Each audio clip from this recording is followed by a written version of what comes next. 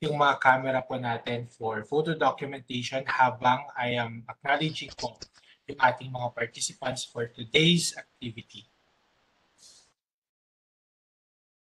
And just a few reminders po no, sa ating mga participants.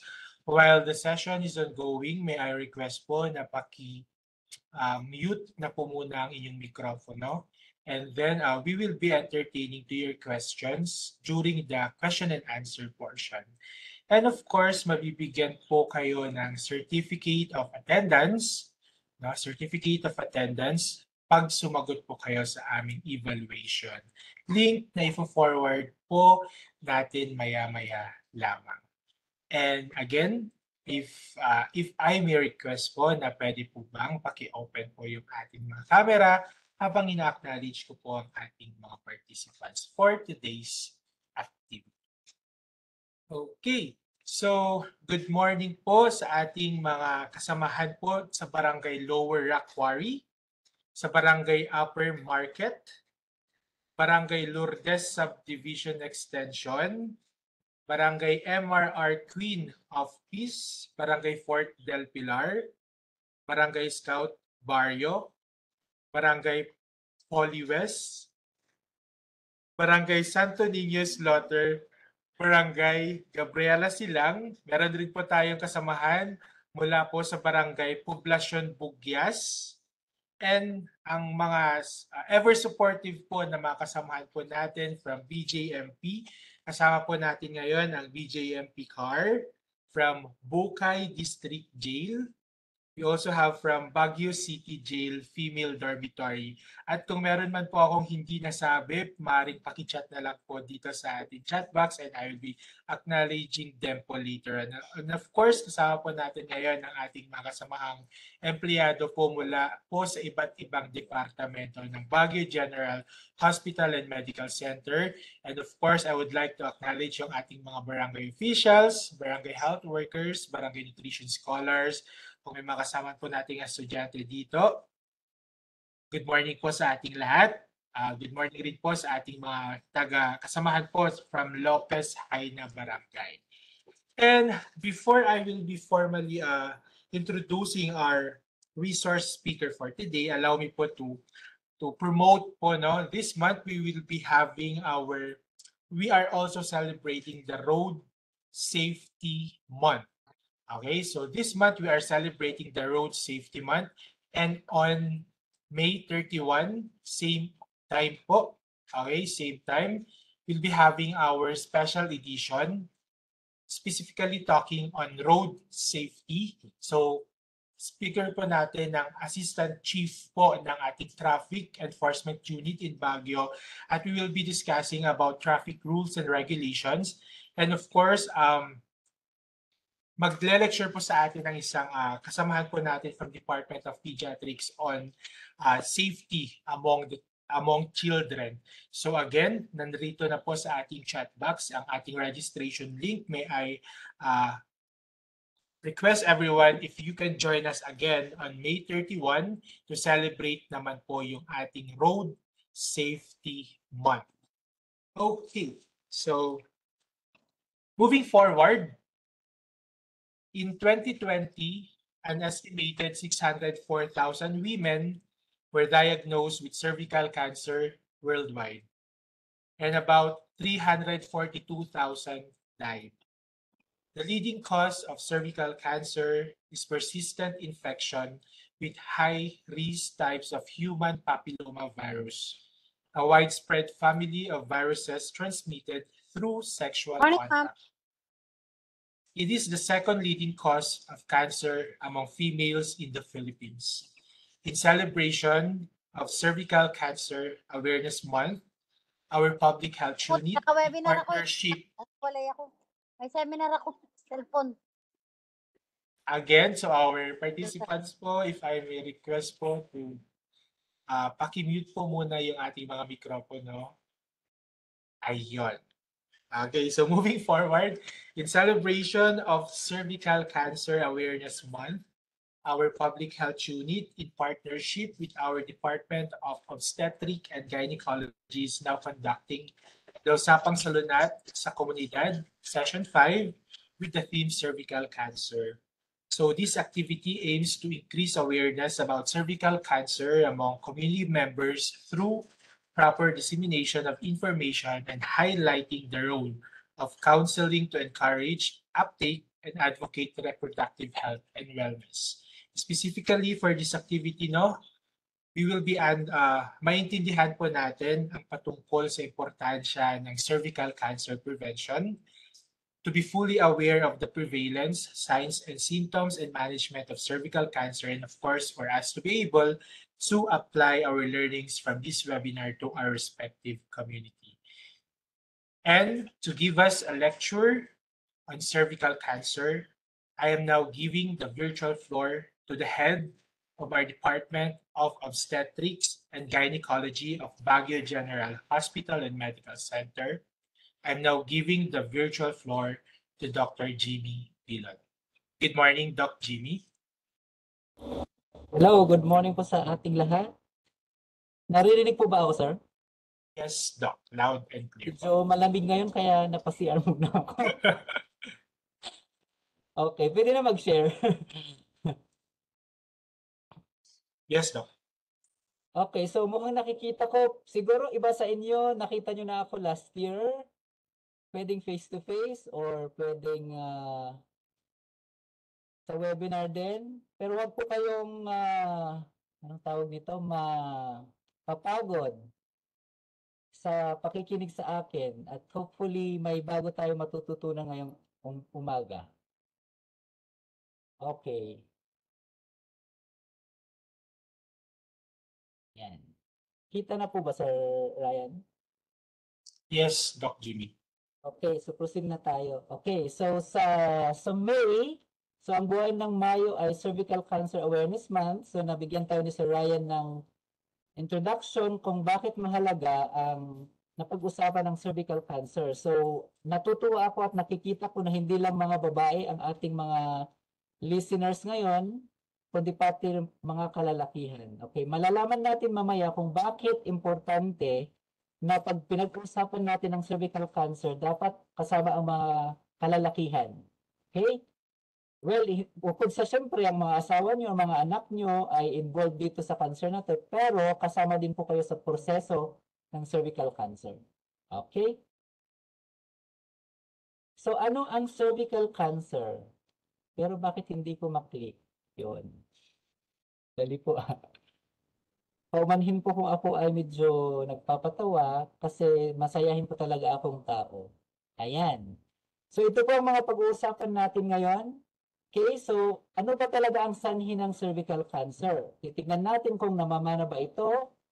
Pwede ba nating sabihin na kung may cervical cancer ba ang nanay ko or kapatid ko, magkaka-cervical cancer po ba ako? Ayan. Pwede nating pag-usapan yan. Pwede na, ah, pwede rin po kayo magtanong after ng lecture na ito, no? So ano ang mga simptomas at paano malalaman na may cervical cancer ang isang babae? Okay? Ah, ipapakita ko rin kung ano ang mga gamot. Ano ang mga available na gamot ng cervical cancer dito sa Baguio na available dito sa atin. And of course, ang pinaka-importante is paano iwasan ang pagkakaroon ng cervical cancer, which is ito ang challenge ko sa lahat ng nakikinig ngayon na kaya-kaya na po nating ah, iwasan ang cervical cancer. Okay, so sa mga kababaihan, meron po tayong mga reproductive organs, ang tawag nito. So ang reproductive organs, ito po yung organs na pribilegyo ng isang babae na magkaroon ng anak, no? So meron tayong yung puwerta, vagina, meron po tayong cervix diyan. Ang cervix po ay parte ng matres, ano? It, dito po nabubuo yung ah, bata. Fallopian tube, diyan po pumapasok yung sperm at doon po sila nag-emit ng itlog para mabuong bata. Ang ovary, ito po yung nagpo-produce ng ating ah, itlog na i-fertilize ng sperm para maging baby. Okay? Ang ovary din, ito rin ang nag bibigay ng mga hormones ng ating mga babae para hindi sila magka-menopause, mga ganyan. Okay? Para para reglayin sila ng monthly. Okay, yan. Okay, para lang ipakita ko din na ang cervix, okay, sa mga para sa para mas klaro, ang cervix sa mga kababaihan na nabuntis na at nanganak na, ito po yung parte na kung saan ito po minimeasure ng obstetrician nyo. Sinasabi niya, ah, 2 cm ka pa lang pag nagle-labor kayo, or 3 cm ka, or 10 cm ka, pwede nang lumabas yung baby. Yun po yung cervix na to. Ito po yung parte ng matres. Okay? Ito rin po ang parte ng matres na pwedeng ma-examine, okay, through uh, by using the speculum, no? Pwede rin po itong so pag gumamit tayo ng speculum exam or speculum yung bakal na ini-insert or plastic na ini-insert sa puwerta ng babae, pwede nating makita yung cervix na ito. So pwede nating makita kung meron mga abnormalities diyan, may mga changes diyan, ayan. Okay, itong cervix din na ito na, par- na parte ng matres, ito rin po ay pwedeng makapa. Okay? Pag sa mga babae dyan na nabuntis na or manang, na mga nagpa-examine na, kinakapo po namin ang cervix nyo. Malalaman natin kung merong ah, irregularities dyan o may mga bukol dyan. Yun po yung mga concern natin. So, pwede nating i-biopsy ang mga yan. Okay, bakit sensitibo itong parte ng ah, parte ng matres na ito, yung tawag natin yung kwelyo ng matres? Ah, hin, ang parang ang covering nito compared sa ating balat, ang balat kasi natin medyo makapal, no? Pero ang layer na nagka-cover dito sa cervix na to, medyo sensitibo ito. Okay? Sensitibo ito sa mga chemical, sensitibo ito sa mga kung ano mang infection, pwedeng bacterial, viral, or fungal. Ayan. So kung anong mga changes po dyan, mas maraming nangyayari po dyan sa cervix na ito. Kaya mas prone din po siya na magkaroon ng cervical cancer. Okay. So, ah, pag-usapan naman natin kung bakit mahalagang may kaalaman tayo tungkol sa cervical cancer. Okay. Sa lahat ng aking pinakita na reproductive organs ng isang babae, lahat po yan pwede magka-cancer. Pero, sabi sa mga statistics at mga census, buong globally, no? Ito po ang pinaka second most common. Ito ang second na pinaka-common na cancer ng isang babae, pumapangalawa sa breast cancer. Okay. At base sa pag-aaral nila, 10 or 11, more than 10 na Filipino women, no? Pwedeng ate natin, nanay natin, lola natin, ang namamatay araw-araw dahil sa cervical cancer. So medyo parang hindi natin siguro napapansin, pero ito po yung data. Okay, sa mga babae naman na merong ah, HIV infection, kasi mas mababa yung kanilang immune system, malalaman din natin yan. Bakit importante ang screening sa ating mga kapatid na mga ganito is ah, mahirap din sila magka-cancer no, ng cervix kasi ito rin ang leading cause. Ito yung pinaka, kahit nagagamot sila sa kanilang mga infection, pero pag nagka-cancer na sa cervix, mas mahirap ng gamutin. Okay. Ito rin ang importante. Ang isang babae, pag tumungtong na sa edad na 30 or 30, ako 28 pa lang eh. 28, tumigil ng aking age ng 28. So kung sakali ang isang babae tumungtong daw ng age na 30, mas mataas na yung kaniyang risk na magkaroon ng cervical cancer. Okay? So lahat ng mga 30 dyan, medyo mag-isip-isip na kayo, dapat magpa-screen na. Okay. Dito sa Baguio General Hospital, sa ating hospital naman, last 2022, meron tayong bagong 102 cases. No, pansin nyo, mula nung nagsimula ako dito sa Baguio na mag, ah, maggamot ng cancer noong 2016, hindi po ito nagbago. Na-maintain po itong mga around 80 to 100 na to, no? Na cases. At um, maganda rin sabihin, nakakalungkot din sabihin actually na lahat nung halos lahat ng ating mga kapatid na na-diagnose ng cervical cancer ay medyo mataas na yung stage. Ah, mas maganda sana kung, sige, kahit sabihin, sabihin natin na kahit nagka-cancer tayo, mas maganda sana kung nakuha sa mababang stage. Ang significant kasi kung bakit gustong ah, medyo nakakalungkot itong 90% ng mga kapatid natin is medyo mataas ng stage, mas challenging at mas mahirap na pong gamutin ang cervical cancer na mataas ang stage. Okay, ito rin ang pinakamainam na sabihin. Ang cervical cancer ay isa sa mga cancer ng babae na pwedeng iwasan at pwedeng gamutin pag naagapan or na, na sa maagang stage. Okay, ulitin ko ha. Itong cervical cancer na to ay isa sa mga pwedeng iwasan na cancer ng babae and kung sakali man natagpuan natin na ang babae may cancer sa early stage, yung mababang stage, pwede siyang magamot. Pwedeng mabuhay siya ng normal. Okay? So, importante po yun. Ngayon, ito yung tanong natin, namamana po ba ang cervical cancer? Ang sagot ko po is, ah, hindi.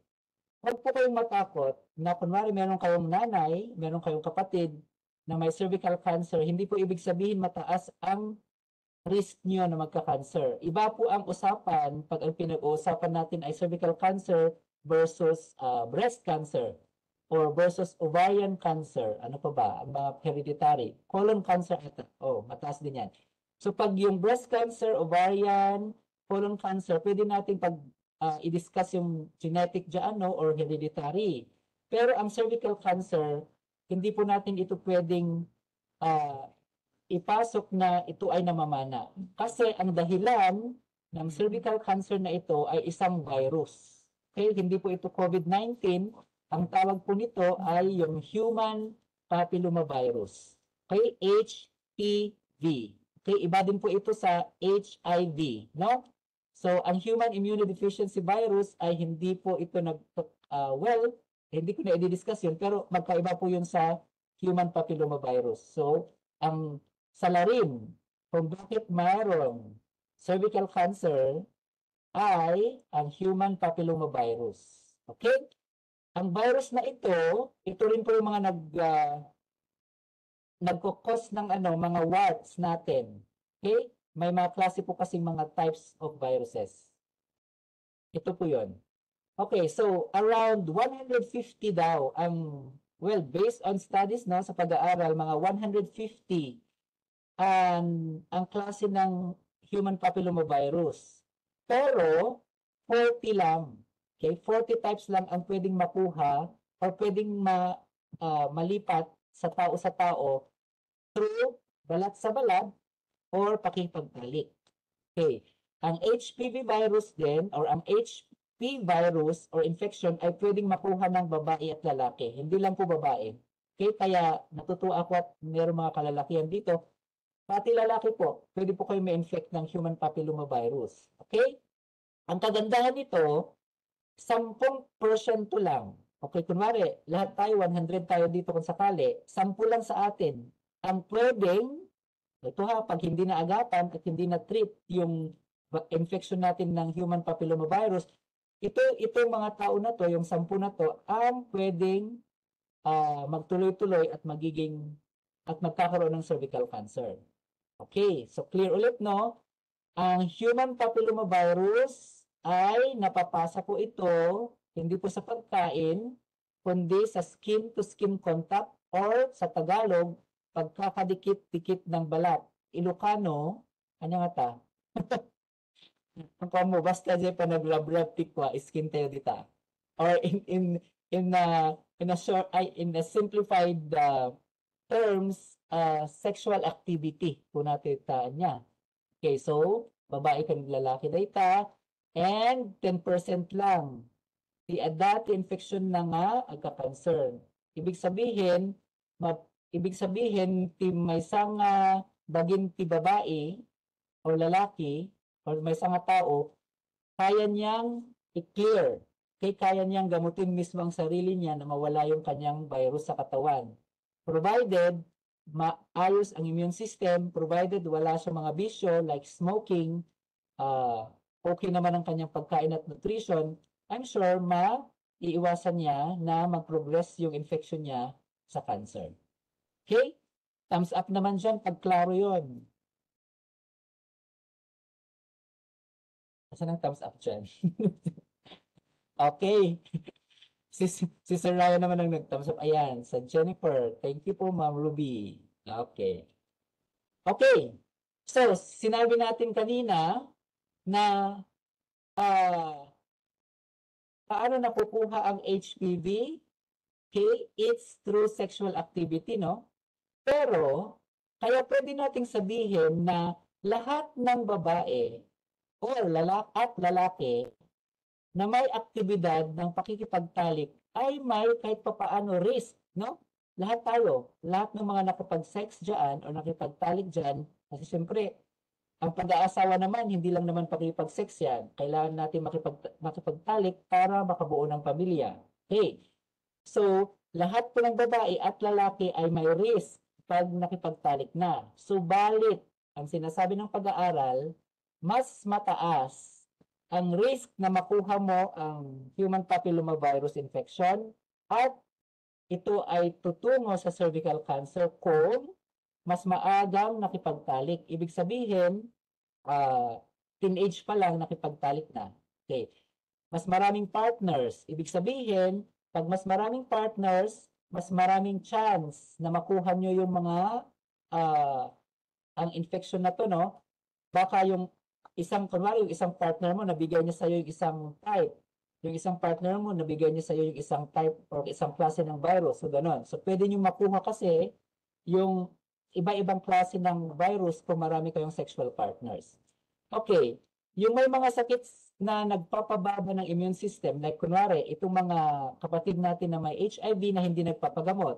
Okay. Or, yung mga may mga, ano pa ba, may mga lupus, lupus or yung may mga, basta may mga sakit na mababa yung immune system, yung mga pasyente natin na nagda-dialysis, ganyan, ganyan, or umiinom ng mga pampababa ng para hindi mag-react sa mga gamot, yan. Kung meron silang virus, okay, kung sakaling meron silang virus sa katawan ng human papillomavirus, mas mataas yung chance nila na magkaroon ng cervical cancer. Ito pa, hindi lang po lung cancer or breast cancer ang ang ano to, ang peligro na binibigay ng smoking. Kaya pati po ang cervical cancer. So ang napag-alaman nila na ang mga babae na naninigarilyo, okay, ay mas mataas ang chance na magkaroon ng cervical cancer. Bakit? Number one, bukod doon sa chemical ng ah, smoke, no? Yung sigarilyo, nagkukos ng mutation doon sa cervix, ang paninigarilyo, pinapababa niya ang immune system. Okay? Kaya sabi, kasi kids, kanina, kanina, okay, magkakaroon tayo ng infection, pero kung malakas ang ating pangangatawan at immune system, di ba, mapapa, maka-clear natin yung infection. Pero kung smoker ka, mas mababa yung ah, activity ng immune system na i-clear yung virus. Kaya yan, yung mga smoky, mga smokers dyan, mag-isip-isip na kayo, no? So, lifestyle. Okay, so gusto kong ipaalam ito kasi dito tayo magbabase. So, ano ang mga gagawin natin kung paano natin maiwasan itong cervical cancer or kung ang pagkakaroon ng HPV infection. So, sabi ko nga, mas lamang ang may alam. Ay ustudi? Thumbs up, Mandita? Tama bang mas may alam ang may ang mas malamang ang may alam? Si Sir Ryan ulit. O si Ma'am Grace, salamat. Ma'am Phoebe, thank you Ma'am Sally, Ma'am Sonia. Okay. Dahil dyan, meron kayong flying kiss mula sa akin. okay. okay. So ito ang kwento ng, ayan, gusto ko ah, mag-concentrate din tayo dito. Kasi baka ang daming nagsasabi sa'yo, naku, ayoko na makipag-sex, ayoko na mag-asawa kasi nakakatakot pala makipag-sex. Ay, hindi naman sa ganon. Okay. Ito ngayon, gusto kong ipa- i-explain ang kwento ng isang babae o isang lalaki o isang babae na lang pala kasi cervical cancer na tayo. Ang kwento ng isang babae mula nung magkaroon siya ng boyfriend hanggang sa magka-cancer siya. Okay, so number one, 10 to, it takes 10 to 15 years. Most of yung ating mga kapatid na nagka-cancer, pag tignan mo yung history, it takes 10 to 15 years na mula sa HPV infection nila ay maging cancer, 10 to 15 years yan. Okay, tignan natin ang kwento. Okay, kunwari itong si Marites. Siyempre kailangan niya mag-asawa kasi siyempre plano din naman niya magkaroon ng pamilya. Tapos yung as okay, tapos may yung asawa niya ah nagkaroon din ng asawa dati. Kaya so nag-divorce si Kuya Juan, nag-asawa sila ni Marites. Si Kuya Juan, yung kanyang partner, namatay ng cervical cancer. Ibig sabihin, ah, meron ng risk factor yun, no? Si Kuya Juan may risk factor ng baka yung virus na yon ay, ay virus na yon ay pwedeng nasa katawan niya. Okay. So, siyempre gusto nila magplano ng pamilya kaya kailangan nila mag-contact. Ngayon, si Ma'am Marites na infect ng HPV. Pag maayos ang immune system ni Ma'am Marites, hindi naman siya naninigarilyo, hindi siya umiinom ng alak, at may ganda ang nutrition niya, wala siyang ibang sakit, pwede niyang ma ay o maayos ano ma-clear. Ano ang Tagalog ng clear? pwede niyang ma ayun nga basta ma, maikat na de infection na tibagina. Okay? So mapan ijay left te maging uninfected isunang ngam if ever si Ma'am Marites ah the immune system na kat hindi maayos, lagi siyang nag-i-smoke, lagi siyang ah, umiinom, kasama yung mga barkada niya, itong infection na to tuloy-tuloy. No, yung immune system niya tuloy-tuloy. Kaya magkakaroon ng changes sa cervix. Okay, itong mga changes na cervix na to, it's pwedeng low-grade abnormality or pwedeng high-grade abnormality. Ito po yung nakikita natin sa pap smear. Okay, ito po yung nakikita natin sa mga screening methods natin. Okay. Kung si Ma'am Marites ay kung sakali nagpa-pap smear siya at nakita natin na may abnormality siya, pwede natin gamutin para mapabalik natin ulit dito sa left side ng proseso. Pero kung si Ma'am Marites wala daw siyang oras, hindi niya priority ang magpa-screen at kahit may simptomas siya, okay, hindi siya nagpapa-screen, tuloy-tuloy po itong abnormalidad na ito, magiging cancer na siya. Okay, yun yun. So, it takes 10 to 15 years na ang infection mula sa human papillomavirus ay maging cancer pag hindi po ito nagamot at hindi po ito naagapan. Itong area na ito, okay, so ibig sabihin, marami pa tayong chance, no? So kahit meron kayong infection ng human papillomavirus, hindi ibig sabihin na magkakakancer ka agad.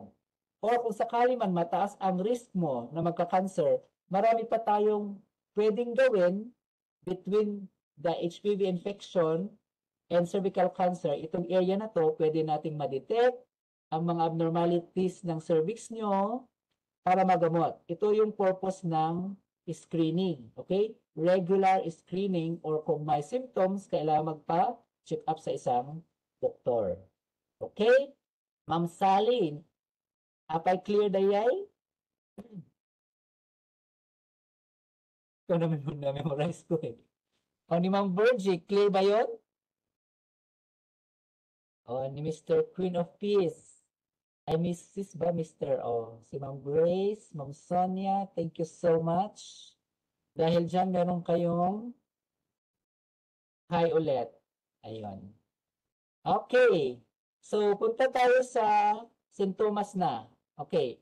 Pag-usapan natin to. Okay, so, iba po ang screening ha. Kasi ang screening ay yung mga babae na wala pong sintomas. Pero gusto ko munang pag-usapan natin, ano ba ang ah, sintomas ng isang babae na may cervical cancer? Ang pinaka-common na lagi kong sinasabi is abnormal discharge. Okay, ang normal na discharge ng isang babae usually walang kulay or colorless, walang ba, hindi mabaho. Pero kung ang discharge ng is, isang babae ay yung vaginal discharge ha, paulit-ulit, tapos medyo mabaho, ah, may kulay, green, yellow, or reddish, yan. Baka naman may problema sa cervix. Okay. Vaginal spotting. Okay, so ang regular na regla ng isang babae ay monthly, no? Or every 3 to 4 weeks. Pero kung sakali, lagi siya nag-spotting. Ibig sabihin may mga ah, spotting siya kahit wala siyang regla. Or kung makipagtalik siya, every time na makipagtalik, nagdudugo. Ibig sabihin, baka merong problema sa cervix din. Okay. Palagiang or pabalik-balik na pelvic pain. Ibig sabihin, pabalik-balik na sakit sa puson. Akala natin, simpleng UTI lang. Kaya, puro urinalysis lang ang pinagagawa. Pero pag nagpakonsulta pala sa doktor, meron ng bukol sa cervix. Okay. Ito yung tatlo na pwede nating sabihin na kailangan magpakonsulta ang isang babae kung merong paulit-ulit na sintomas na ganito. Ulit, abnormal na vaginal discharge, okay, na lalong, lalo na pag mabaho at may kulay, vaginal spotting, dapat wala, ah, dapat monthly ang, ang regla nyo, pero meron kayong spotting in between or kung makipagtalik, merong ah, bleeding and paulit-ulit na sakit sa puson or pati sakit sa likod. So kung meron kayo nito, magpakonsulta na sa inyong ah, family physicians or sa mga gynecologists. No? Okay, dito sa right side na to, huwag niyong hintayin na ang sintomas nyo ay yung sintomas ng cervical cancer na nasa late stage na. Okay? Yung mahirap umihi, mahirap dumumi, yung namamaga na yung paa, yung hindi na makatayo dahil ah, nahihilo, anemic pala, ganyan, or pangangayayat, ganyan. So huwag nating hintayin na makaabot tayo sa ganong sintomas kasi most likely, no, kung meron ka mang cervical cancer, late stage na yon. Mas challenging sa amin gamutin yon at mas challenging sa pasyente na magpagamot kasi maraming komplikasyon. Mas mataas yung ating sun- suntok doon sa virus na yan. Okay? Or sa cancer na yan. Okay, yun po yung sa sintomas.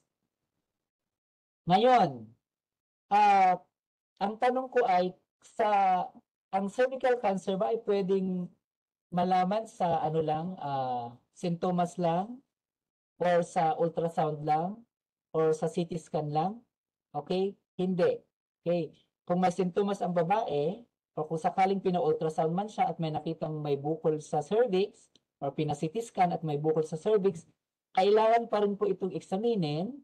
Kailangan pong kumuha ng ah, tissue or yung portion ng cervix para kailangan po nating isubmit ito sa pathologist para mabiopsy. Ang tawag po natin dito is mabiopsy, ano?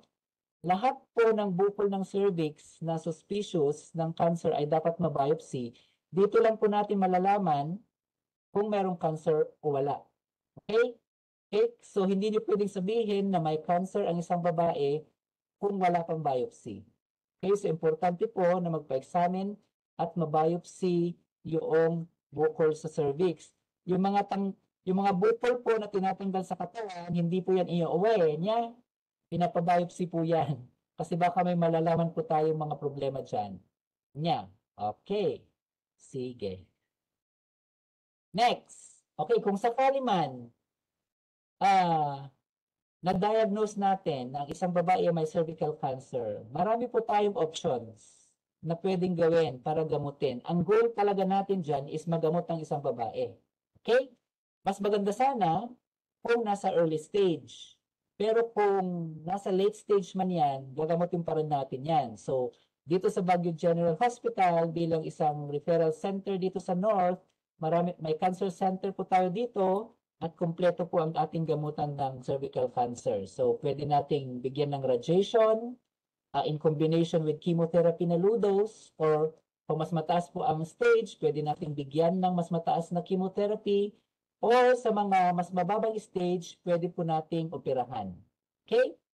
So lahat po ito ay available dito sa Baguio General Hospital. So tingnan niyo po ang mga pictures dito na napakita ko. Dito sa taas, pasyente ko po ito. Pansin niyo yung cervix niya malaki na. No? Dito sa baba, pansin niyo parang normal naman. Ang yamat inikat nga ni Dr. Bilo dita. Pero dito yun eh. Kay basit man data o dakkel, basta at the biopsy, cancer pa rin yan. So, kailangan nating ibigay ang tamang gamot para dito sa cancer na to. Ang importante din, huwag po tayong, uh, huwag po ang Dr. Google lagi. Okay? Pwede naman mag, uh, uh, mag ano to, mag-search kayo at uh, tignan nyo itong mga pinag-uusapan natin sa Google, pero hindi nyo po ibabase dyan ang gamutan.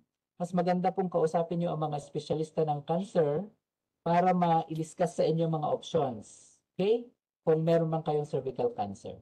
Okay.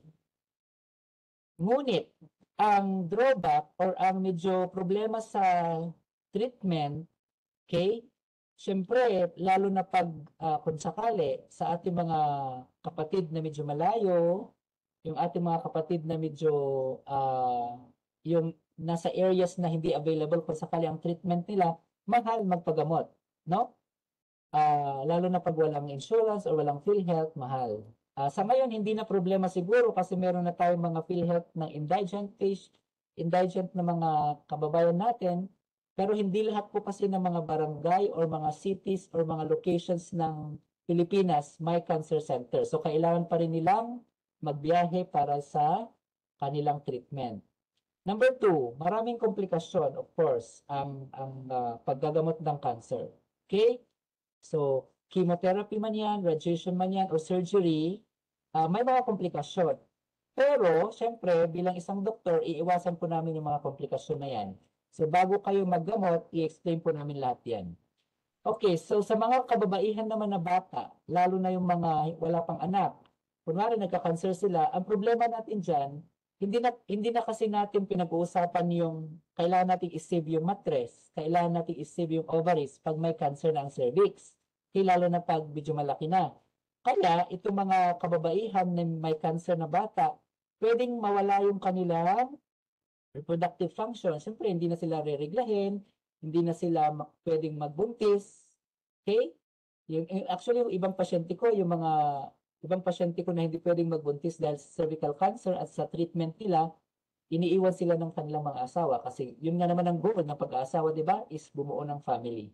Kaya, nagkakaroon ng mataas na emotional at sexual effects. Okay? Ito yung ah, pwedeng mangyari kung meron tayong cervical cancer, aside from, of course, yung anxiety or stress na binigay ng cancer, may mga additional din po na ibibigay na complications ang isang ah, isang paggagamot.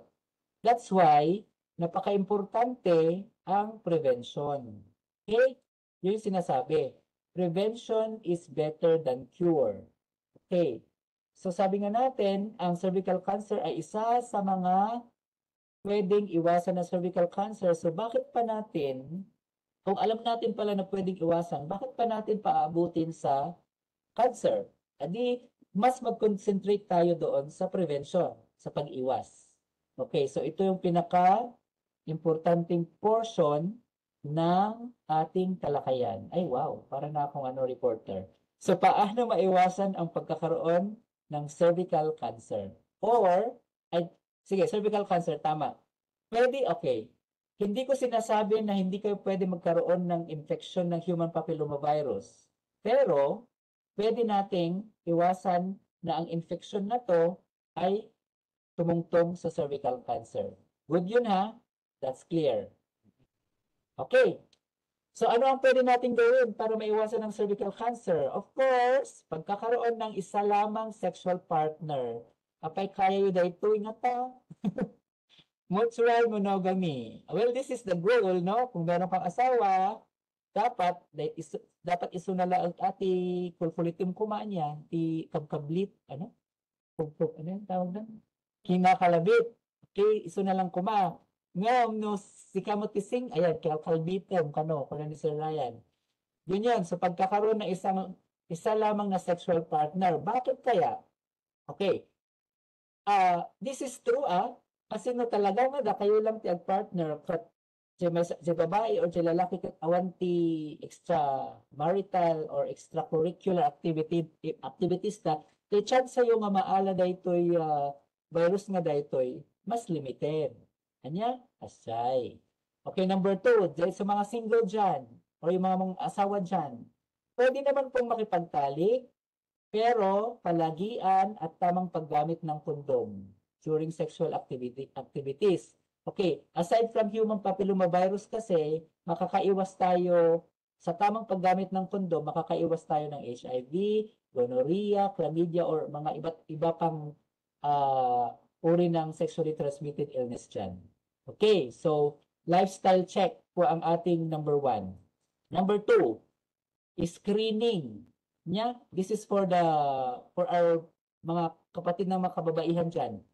Pag 12, pagtungtong mo ng 25 years old hanggang si 55 or even hanggang 65, lalo na pag meron ka ng sexual activity at nakipagtalik ka na, kailangan mo nang magsimula ng screening. Okay? Marami tayong available na screening methods. Pwede, niya kami, pwede naman kayong pumili. Mamaya explain po. Number one, gynecologic exam. Ibig sabihin, pagpapakonsulta nyo lang sa isang doktor, sa isang family physician, or sa isang obstetrician gynecologist, Dahil sa titignan namin, ito yun, no? Dahil sa titignan namin yung service nyo, malalaman namin kung may mga changes. Okay? Ibig sabihin, kung may mga changes dyan, pwede namin itong gamutin. Or pwede nating i-biopsy kung meron ng bukol. Number two, sa mga barangay health workers dyan or sa midwives dyan, I'm sure naririnig nyo na ito kasi ito yung training nyo. Ito yung purpose ng universal healthcare. Gusto nating i, i- ano to, ibagsak ang screening sana sa level natin, sa primary, no? So, visual inspection with acetic acid. Okay? 3 to 5% acetic acid. Baka tinayon na, jay suka nga eh. Sungsung na kat suka. Ang haanot ang sukang ilokon. At dati brand ti suka nga mabaling nga aramidon. Okay, ito yung tinatawag na vinegar wash. Okay? So, visual inspection with acetic acid. May mga VHWs tayo dyan, nurses and midwives tayo dyan, na pwede mag-perform nito kasi trained sila. Ang purpose nito is, pag nakita namin yung cervix nyo at nilagyan namin ng chemical na acetic acid, may mga changes dyan. Okay? Kung may mga changes dyan, pwede nating i-burn, pwede nating i-freeze, o pwede nating i-biopsy para malaman natin kung ano ba yung mga abnormalities na yan. Okay? So again, number one, pag, pag, pag, pag-visit lang sa isang doktor, screening na yon kung may nararamdaman. Number two, pagka, ah, pag-aabil sa visual inspection with acetic acid, available po ito sa ating local health units, no? Health center. Number three, pap smear. Baka ito yung pinaka-common sa inyo. Okay. Ang pap smear na to is ah, kailangan tong gawin ng isang trained personnel, pwedeng doktor, pwedeng nurse, pwedeng midwives, pwedeng health workers. Kailangan lagyan ng speculum. Okay, tignan nyo dito sa ah, picture na to. Maglalagay kami ng speculum. Sisilipin namin ulit yung cervix na to. Kukunin namin yung brush. Kukuha kami ng specimen dyan. Ikabil medyo anti-slide. Tapos, after 1 to 2 weeks, rumwar iti pap smear result. Ang kagandahan ng sorry, ang ang disadvantage gayam ti pap smear kat kailangan nyo nga i-submit iti laboratory so you have to wait for the result. Anya? Pasjay. Pati compared po sa sorry. Paano tayo babalik ng dito? Wait lang. Compared sa visual inspection with acetic acid, that day pa lang na ginawa ng ah, ng healthcare provider, malalaman nyo na kung may abnormality or wala. Yun ang disadvantage sa pap smear. Lalo na pag nasa medyo malaki, malayo kayong barangay at nagpa-pap smear kayo, hihintayin nyo. Minsan, umaabot ng one month ang result. Okay? Now, sa inyo, I'm sure marami sa inyo nagpa-HPV typing dyan. Yehey! Okay? So, HPV DNA testing. So, thank you sa mga barangay natin na, ay sa ating mga partners dyan na nag-avail ng HPV testing natin. Ang dami mga barangay dyan like Aurora Hill, Quezon Hill, ano pa ba, Atok Trail, uh, BGMP, Nagado, Nagado ti, ah, even the BCPO, naki-collaborate kada tayo for the HPV DNA testing. Anya ti ko na daytoy, anya ti advantage na daytoy human papilloma virus DNA testing. Pasalamat lang uh, pap smear daytoy, anya, pero ang dinidetect niya is hindi abnormality ng cell. Mismo yung virus ang dinidetect. Ibig sabihin, kahit wala pang abnormality ang cervix nyo, na-detect niya kung meron na kayong human papillomavirus. Ngayon, kahit wala pang changes dun sa cervix, sasabihin nyo na, oh my God, meron na pala akong virus. So, kailangan kong ah, ayusin yung aking mga lifestyle. Or, kailangan kong magpa-check up ah, mas regular. Okay? Susundin ko yung utos ni advice ni Dr. Bilod. Kailangan ko siyang balikan after 6 months, after 1 year, kasday. Yeah? And ang advantage din po ng HPV testing is self-collection po yan. Yung available ngayon sa atin na libre ay self-collection. So titignan nyo po, ang left side nyo ay gumagamit tayo ng speculum at kailangan ng healthcare provider para magkuha ng sample. So ito'y, itong right portion na to, kayo na po ang magpo-collect ng sarili nyo. So marami po tayong mga kababaihan dyan na nag, naka-experience nito. Ang advantage nito is meron kayong own privacy. Okay? So hindi nyo kailangan si Dr. Birod para ag kayang-kayang kayo. Hindi nyo nga kailangan tiyang kayang-kayang. Sarili nyo lang, pwede nyo na makuha.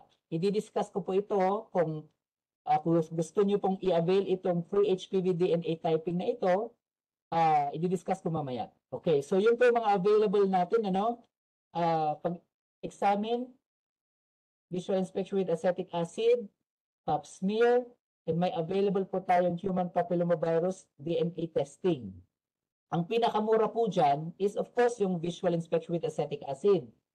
Ah, minsan wala po tayong binabayaran dyan, no? Pap smear, meron po tayong binabayaran dyan. Kung nasa private kayo, pwede silang mag, ah, ah, ano to? maningil ng 500 to 1,005. Pag dito po sa hospital natin, 150 lang po ang binabayaran pag pap smear. Ngayon, ang HPV DNA testing, sa private po yan is 4,005 hanggang 6,005 po yan. No? Pero sa available po na project ngayon ng BGH, WHO at John Hopkins, meron po tayong libreng HPV typing para sa inyo. Okay? Didiscuss po natin yan mamaya. Okay, so yun po yung mga available natin na screening methods. Kung ano pong gusto nyo, pwede po kayong pumili dyan. So, ah, hindi po problema yung availability ng ating screening, no? Ang problema ngayon ay baka nasa atin naman, baka naman, man- baka naman nasa babae na yon sa isang sa tao mismo kung bakit hindi siya nagpapascreen. Okay. Aside from screening, aside from yung ah, lifestyle check natin when it comes to sexual activity, importante din po ang bakuna. Okay? May bakuna po tayo laban sa cervical cancer. Ang tawag, okay, meron po, baka narinig nyo lang, may mga, may meron Cervarix, meron mga brand names po ito ah, mga Cervarix, Gardasil or ganyan. So basta ito po ay bakuna laban sa cervical cancer. Ang kagandahan nito, hindi lang po cervical cancer ang iniiwasan niya. Pati po yung bago pa magkaroon ng cervical cancer, pwede niyang iwasan yan. At pati yung ibang cancer na uh, kinokos ng human papillomavirus sa lalaki at sa babae man, kaya niyang iwasan. Kunwari, sa isang babae o isang lalaki, yung throat, no? Yung sa mouth. Meron ding anal cancer, may vulvar cancer. Sa mga lalaki, may penile cancer. Kaya, lalaki ka man o babae ka, kung patuloy pa rin yung infection mo ng human papillomavirus at hindi nagamot, pwede pa rin magkaroon ng iba pang uh, cancer sa ibang parte ng inyong katawan na pwedeng puntahan nitong virus na to. No, ang dami ng itong virus na to medyo medyo makulit pala ito, no? Pero pumiti makmakanan na. So nga importante, iwas pa rin, no? Or screening. And of course, bakuna. Ngayon, siguro may mga anak kayo, may mga apo kayo na nakabun, naka, nabakunahan na. Merong uh, project ang Department of Health na binabakunahan ng mga kababaihan or mga, uh, hindi pala kababaihan, yung mga girls natin young girls natin, I think 10 years old and below, or 10 years, 15 years old and below, mga grade 4 daw sila. Baka sa inyong, uh, sa inyong mga eskwelahan ng mga anak nyo, baka nabigyan na sila. So, i-avail nyo po yung bakuna para sa kanila, okay? 1 to 2 days, 1 to 2 doses po yung ibibigay sa inyong mga anak o mga apo. Okay, so importante po itong bakuna. So, ang cervical cancer vaccination ay isa sa mga uh, matagal ng vaccination na naaral na at wala masyadong side effects. Siyempre fever lang saka masakit siguro sa tusok. Pero when it comes to yung mga side effects sa ibang katawan, wala po yan. Hindi po yan proven. Okay. Bukod po sa bakuna, ah okay, yun na po yun. So, ulit, paano natin iwasan ang cervical cancer? Lifestyle check. Okay, number two, screening. And of course, number three is bakuna. Pero, yun ang tanong ko kanina, kung available po itong mga uh, preventive measures natin, bakit marami pa rin nagkakakanser na babae or bakit may mga babae na ayaw pa rin magpa-screen? Okay, ito yung mga sagot or ito yung mga dahilan kung bakit. Okay, lack of awareness o kulang daw sila ng awareness. Kaya, very important itong project ng PHU na to at ini-invite ang buong barangay kasi kayong nakakaalam ngayon kung paano, kung ano ang sanhi ng cervical cancer at paano iwasan ng cervical cancer. Kayo na ngayon ang mag, magkikwento. Instead na magmarites tayo sa buhay ng ibang tao, ito ang imarites natin, di ba? emeritus natin kung paano iwasan ang cervical cancer. Paano tayo makakatulong na ang mga kababaihan natin ay makaiwas ng cervical cancer. Okay, may issues din daw, mahal daw, medyo malayo, kaya tayo nagpapatrain ng ating mga BHWs, mga doctors sa MHU level or mga nurses natin kasi gusto nating ituro itong visual inspection with acetic acid kasi ito yung pinakamura at pwedeng pinakamadaling gawin sa level ng ating local health units. Okay, may mga ibang babae din daw na natatakot or uncomfortable or uncomfortable sa speculum exam. Eh, nagsakit mat, apay kami nga ikabil kati plastic kan uh, nyari, kan metal, ejay puwertak at nagsakit. Kaya nga, meron tayong ino-offer ngayon na self-collection. Okay? I-discuss natin din yung mamaya yan kung paano kayo ma-avail. And sa ibang babae daw, lack of respect, ah, wala daw silang privacy, yung ibang ah, mga mga ano to, health workers daw medyo mataray, ganyan. Kaya ah, ito yung mga lagi namin sinasabi na kung merong magpapascreen, dapat maayos ang counseling. Okay? So ang pinaka-importante dito is la, palagi ang ah, regular na information dissemination, campaign and counseling tungkol sa cervical cancer, paano to ma-screen, at of course, yung mga advantages ng vaccination. Itong Lee and Bilog na ito, study namin ito, no? So, yung pinakita ko previously, yung discuss ko yung ah, ah, that's a global, ano kasi yun, global data kasi yun, no? Pero dito rin po sa La Trinidad, ganun pen, o knowledge of infection, screening, and vaccination, bababa kasi hindi daw sila masyado informed. Ah, yan no, cost of the vaccine, sa lack of information, kaya hindi sila nagpapascreen. Ah, maiintindihan ko kung hindi kayo magpapabaksin dahil mahal ang vaccine. Tama yon kasi hindi naman po talaga available ang vaccine para sa ating adults. Kailangan natin siyang. Pero ang screening po talaga, okay, ang screening ay mura. Okay? At readily available po sa level ng ating local health centers. Kaya yun po yung ah, gusto nating sabihin na ah, kanya-kanya po tayo ng party no na i ipaalam na meron pong available na screening test na pwedeng pagpilian ng ating mga kababaihan laban sa cervical cancer. Okay? Parang gusto ko ng thumbs up.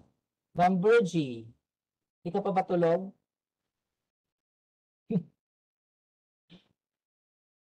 Tuwang tulong si Ma'am Virgie. Ayan, si Barangay, si Ma'am Rachel, Lourdes of Division, Ma'am Christina, Ma'am J.O. Jasmine, thank you so much. Okay.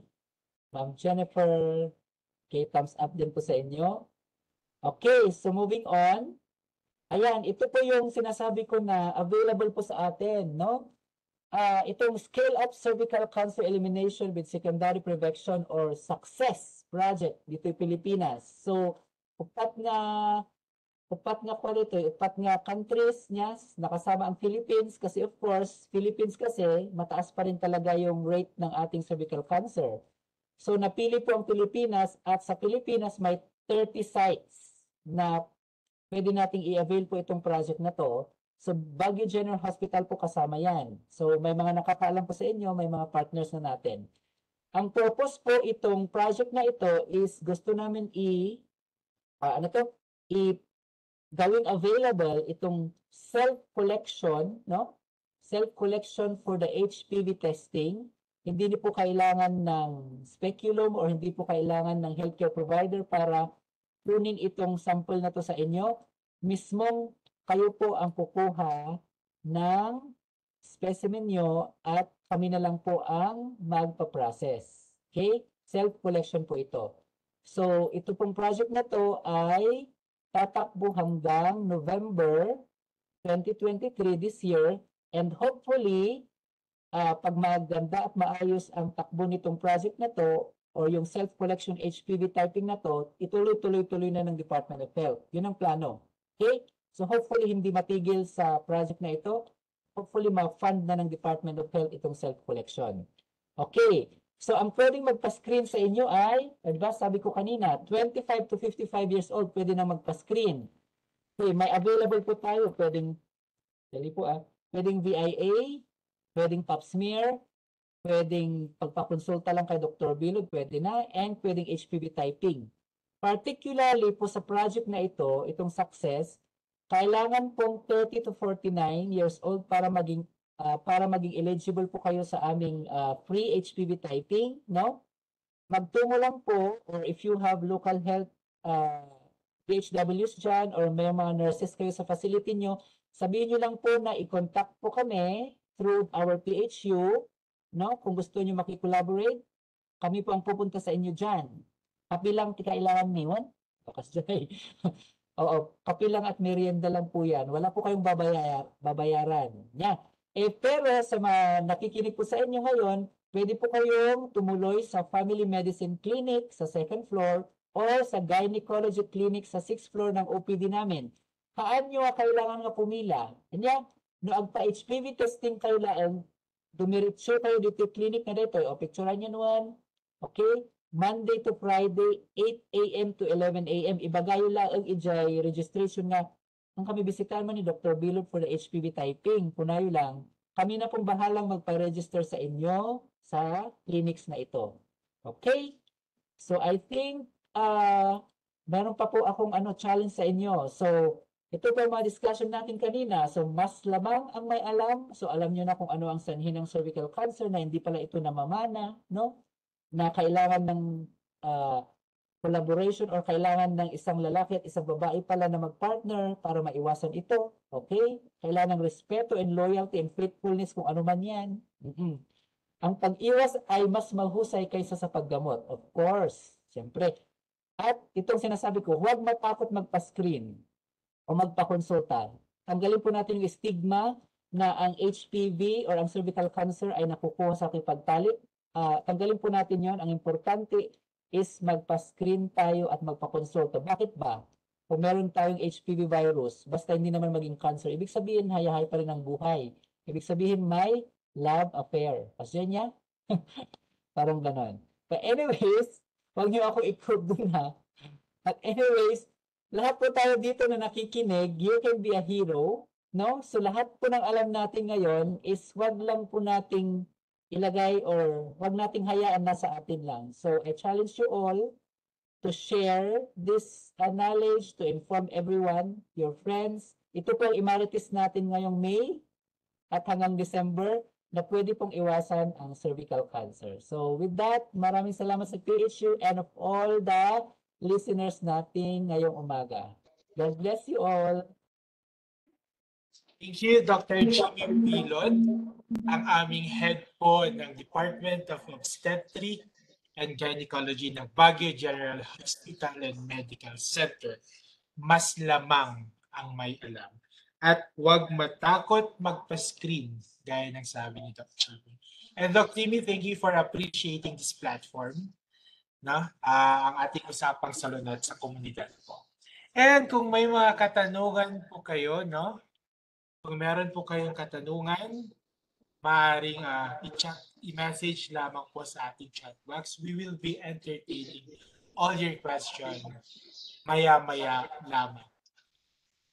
Okay, so moving forward, Doc, um, allow me to acknowledge pa po yung mga hindi ko na-acknowledge kanina, baka magta po sila. So we have our uh, mga kasamaan po natin from Barangay Camtas. Good morning po. Barangay Domina, Dominican Mirador, Barangay Burnham Legarda, Barangay Salud Mitra, and Barangay Bu ah sorry, Bugyas District Jail. Good morning po sa inyong lahat. And uh, before we proceed with the next part of the activity, allow me po to uh, promote and invite all of you once again on May 31 since we are celebrating our Road Safety Month for the month of May. We'll be having a special edition with the theme Road Safety. Okay, this is in partnership with our Department of Pediatrics and the Philippine Pediatric uh, Society Northern Luzon chapter. No, ang maging topic po natin ay patungkol sa traffic rules and regulations. Kasama po natin dito ang ating Traffic Enforcement Unit ng Baguio City. So nandito na po sa ating um, regis- uh, sa link yung link for registration sa ating chat box. And also, no, may I remind everyone that this month, nakikita nyo naman na po, no, suportahan po natin ng MROPVCA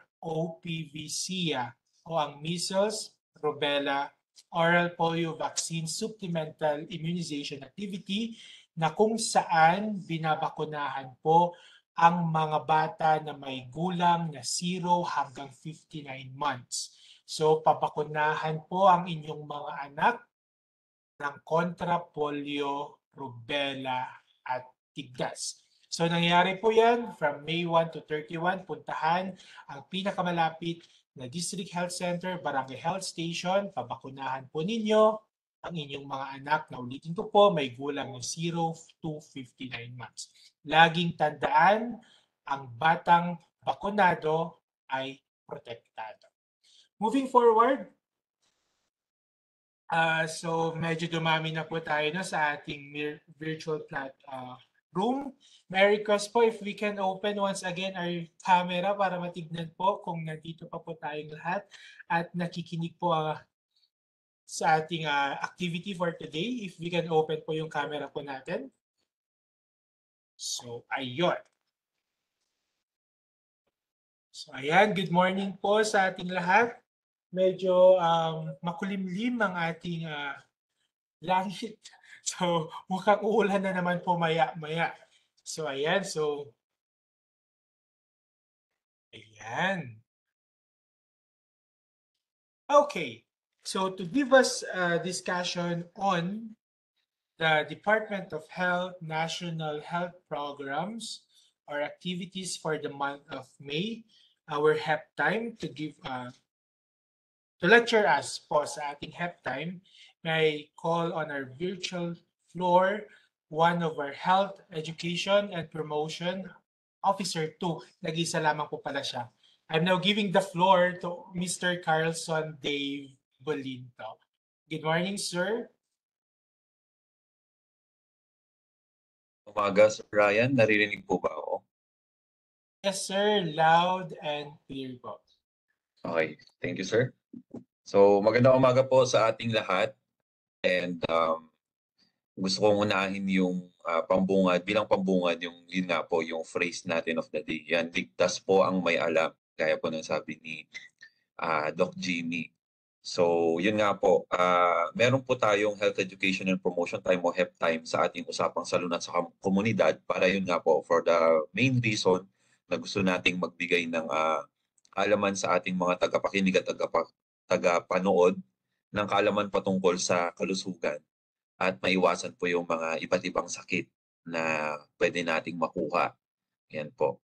So, ngayong ano, ngayong umaga ating pong pag-uusapan ang health activities at events na ating ginugunita at inoobserbahan sa buwan ng Mayo alinsunod sa kalendaryo ng DOH. Yan po. So, pamanhin po, hindi na po mag-open ng camera kasi baka po maputol po ang aking uh, connection.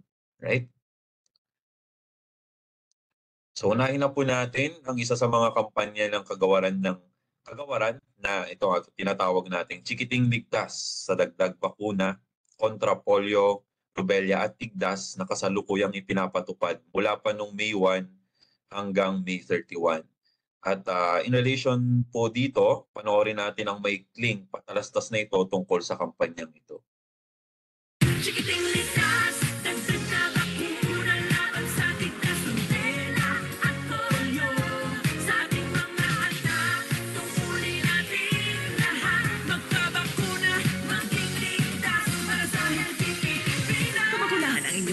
kontra rubella, tigdas at polio sa May 1 to 31. May dagdag na vitamin A supplementation pa. Alamin ang schedule sa pinakamalapit na health center. Magpabakuna na para sa healthy Pilipinas. Paalala mula sa DOH.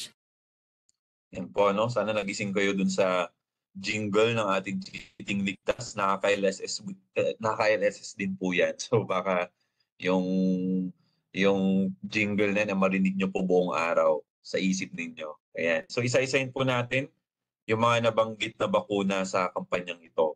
So una, ang oral polio vaccine or OPV. So na binibigay bilang protection, syempre, laban sa polio. So ano nga ba ang polio? Ang polio ay sakit na dulot ng poliovirus at inaatake nito ang ating spinal cord at mga ugat, lalo na sa paa. Kaya ang nangyayari, nahihirapan ang taong apektado nito na igalaw ang kanyang paa at worst, napaparalisa ito habang buhay.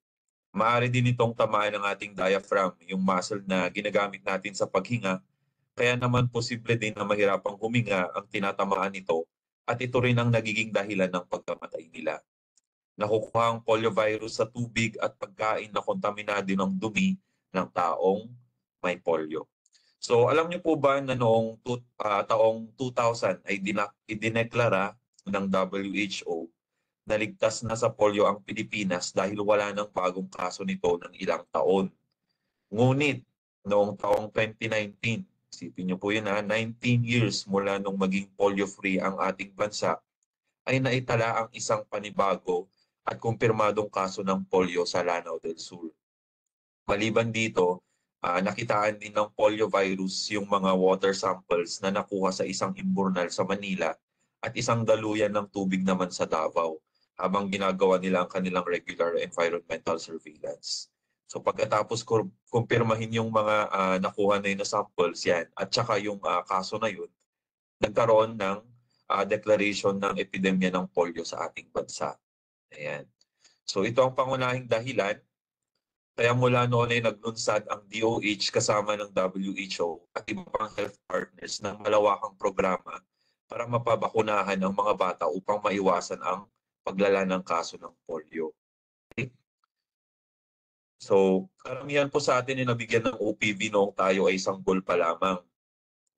Pero dahil sa mas mataas na sa mass immunization campaign tulad ng MROPV supplemental immunization immunization activity na tinatawag natin yung MROPV SIA, maaaring bigyan ang mga bagong silang na sangkol sapagkat mahina pa ang kanilang immune system. Yan. Na pwedeng panlaban nila sa mga sakit. Basta, ang importante, yan, masigla po sila, ah, mas malusog, sumususo at walang ibang karamdaman. So next dyan ay ang tigdas. So ang tigdas naman ay dulot ng virus na measles at lubha itong nakakahawa, lalo na sa mga bata.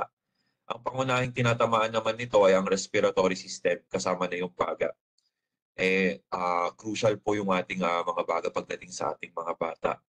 So nakukuha ito kapag inubo at bumahing ang isang taong meron ng tigdas at nalanghap ng taong walang proteksyon mula dito. So doon po, yan.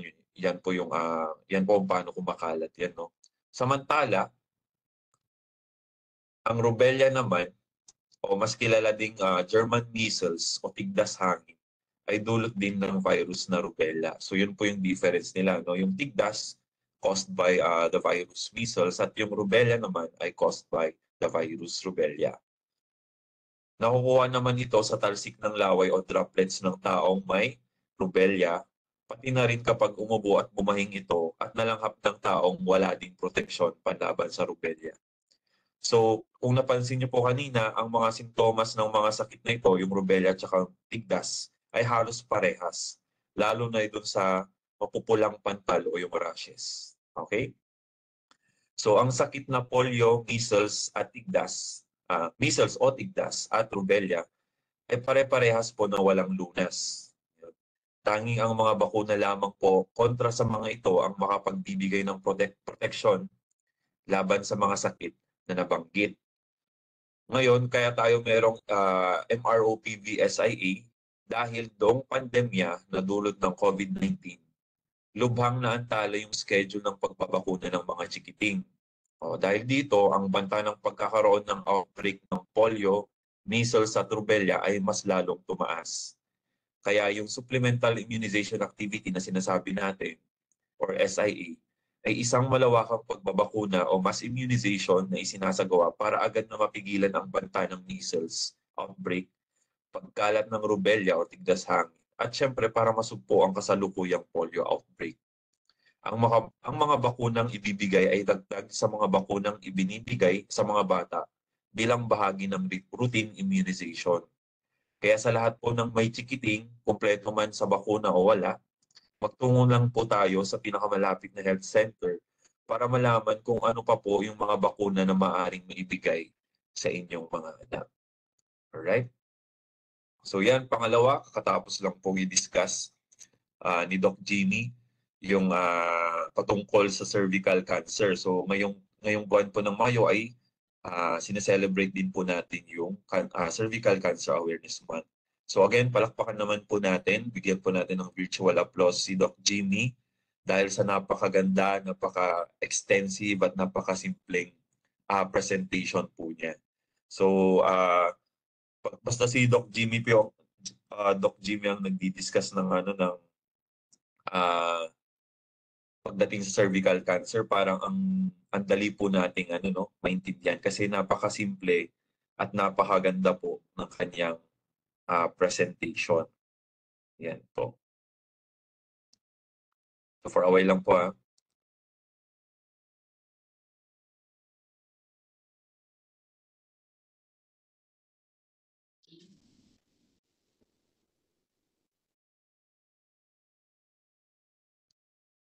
So ayan po, ah, pangatlo, kaya ang ating ah, pinagdiriwang din po natin sa buwan ng Mayo ang Hypertension Awareness Month. So makikita po natin dito, samahan natin si Cardio Mahusay. Ang galing po talaga ng mga characters ng ah, DOH ng ating kagawa no, pagdating sa mga ganitong kampanya. So sabay, samaya, samahan po natin si Cardio Mahusay para po um, iwasan yun nga po yun sa sa mission critical niya to diffuse yung hypertension threat. So ayan po. So hindi na po hindi na po bago sa atin yung ah, hypertension ano sapagkat ah, ito po ay isa sa mga pinaka-common na sakit pero ka, ah, kahit common na po siya ah, dahil common na din siya napapabayaan po natin na yun nga po alagaan yung, yung mga sarili natin dahil yun nga dahil common na siya So, yan, paalalahanan lang, siguro paalala lang din po ito sa ating lahat na ah, unang-una, yan, bantayan po natin yung ating mga kinakain, bawal po sa atin ang maalat, matatamis, at ah, makolesterol. So yan, dahil yan po ang mga pangunahing rason kung bakit ah, tumataas po, nagkakaroon ng alta presyon o hypertension yung mga ah, ah, tayo, tayo mismo nagkakaroon ng ah, alta pressure o high blood pressure. Okay? Pangatlo ay pang-apat. I mean, ito po ay ang Road Safety Month. Yan. So ngayong month, kakasabi lang din po ni Sir Ryan kanina, ah, pinag-uusapan natin yung ah, ah, gaganapin na special edition ng Usapang Salon at sa Komunidad, komunidad na magfo-focus po sa Road Safety Month. So yan. So, dahil sineselebrate po natin ang Road Safety Month, hayaan niyo po nabigyan ko kayo ng ah, konting tips. Yan. Siguro pa unang ah, tips na din po siguro ito para doon sa gaganapin na ah, ah, webinar patungkol doon sa road safety. Sandali lang po ha. Naglolo ko po ang ating source. Yan. So, tips para sa ligtas at responsa- responsableng pagmamaneho. So, ah nagmamaneho ka man o kaya ikaw ay isang pedestrian, nararapat lang po na alamin natin yung mga tips na ito para maging ligtas po tayong lahat pagdating sa kalsada. So yan. Unang-una yan, sundan po natin ng tama ang mga traffic rules. Yan. Pangalawa, magsuot na lagi ng seatbelt, driver ka man o pasahero. Yan, lagi po nakakalimutan to ng mga pasahero minsan.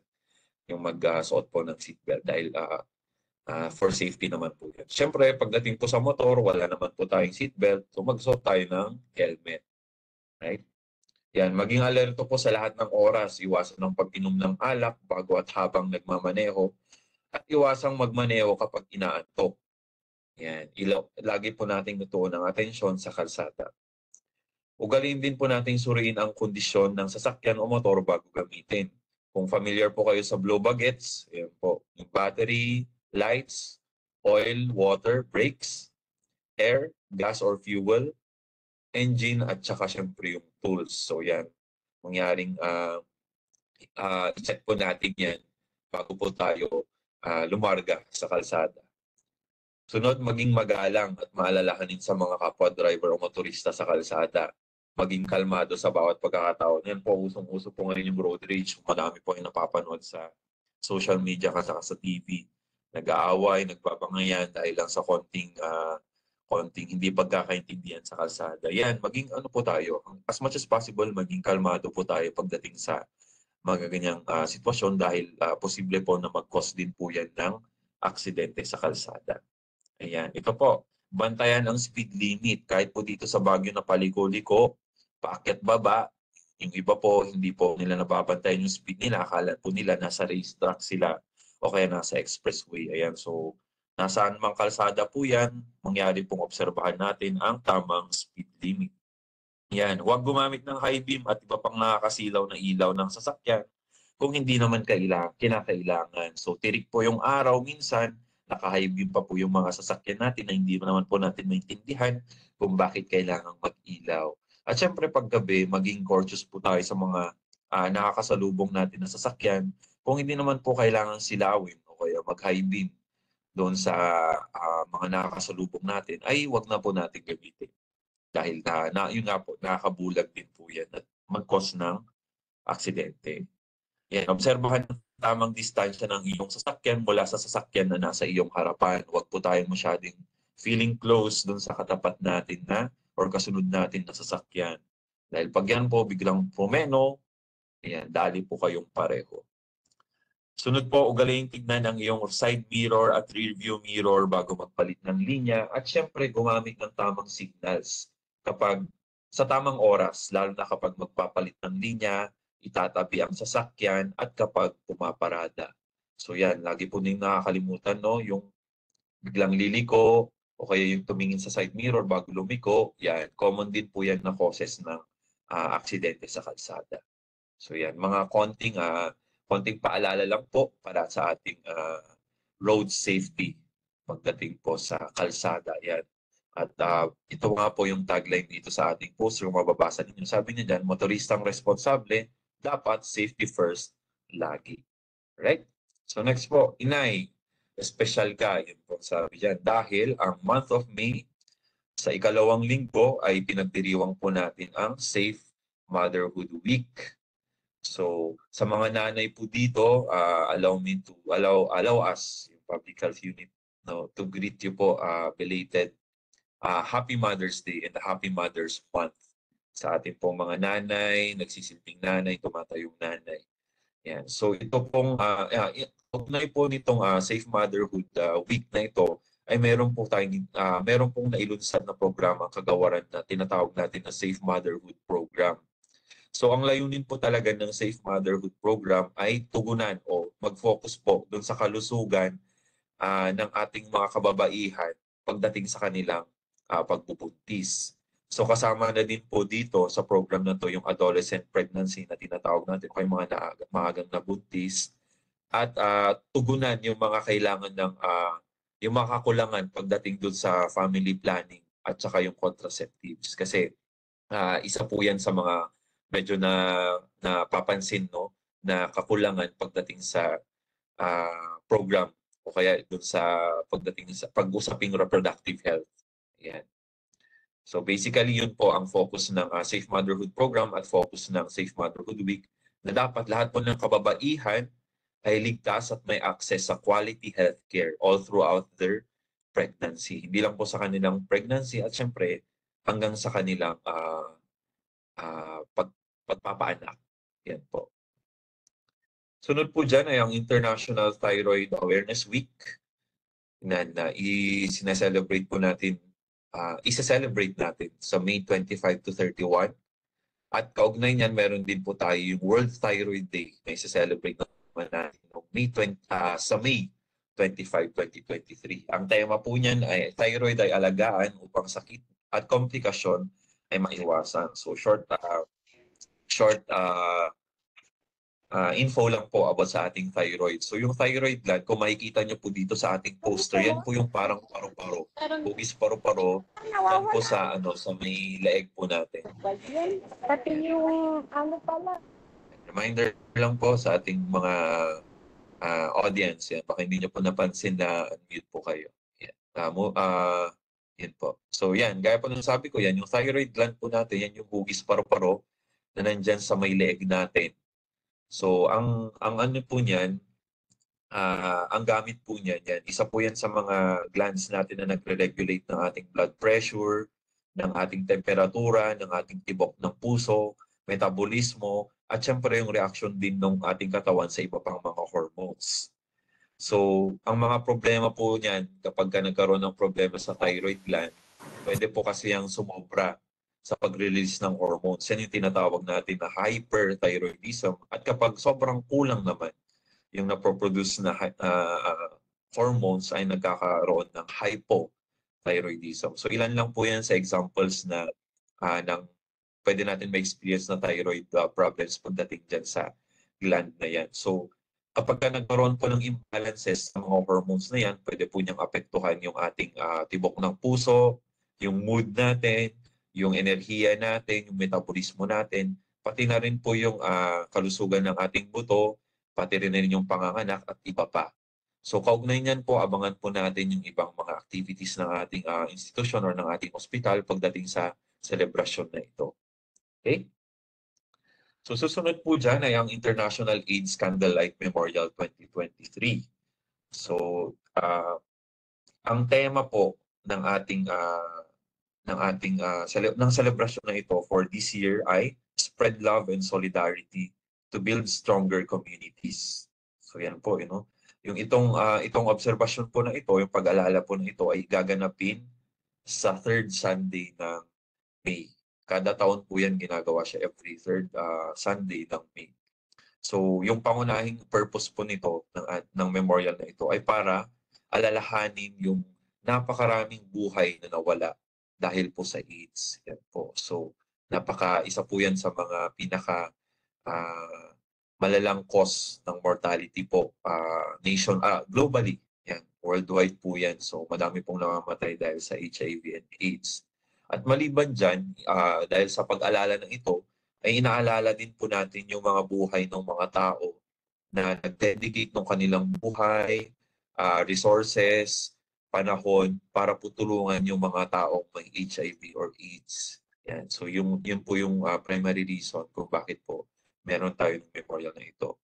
At ah, base nga po dun sa tema na nasabi kanina, yun nga po, pinopromote po talaga nito na tanggal, sana matanggal or matu- matuldukan na nga po yung stigma.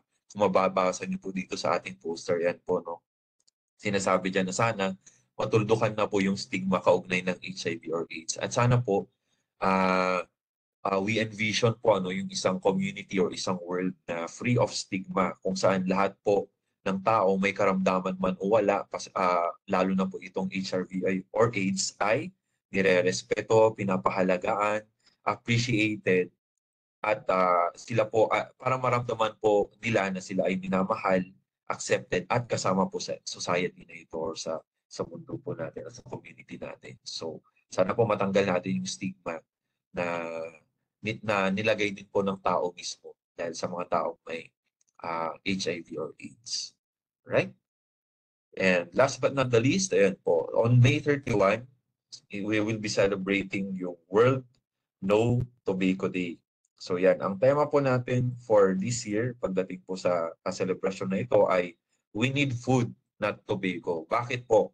Yan. So layunin po ng celebration or ng ah, observation na ito na ah, hikayatin yung mga magsasaka natin na nagsasaka ng tabako na instead na tabako po yung kanilang itanim or suportahan ay mas ah, mas makahanap sila ng alternatibo iba pong ah, paraan para po ma, ma- makapagtanim po sila ng mas masasustansya or sustainable crops. Yan po.